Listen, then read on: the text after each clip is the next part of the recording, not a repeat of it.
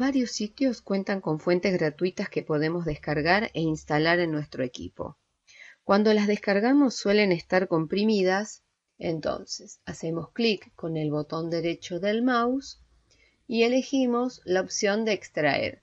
Podemos extraer aquí y en la carpeta que nos encontremos, en este caso descargas, veremos los archivos sueltos o extraer en y el nombre de la carpeta, que en este caso creará una carpeta y dentro de ella colocará los archivos. Este es el sistema que utilizaremos.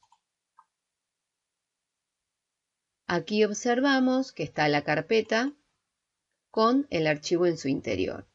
Este archivo debe ser instalado en la carpeta fuentes del sistema para que sea reconocido por los programas. Entonces, utilizamos el botón derecho del mouse nuevamente y tenemos una opción que dice instalar para todos los usuarios.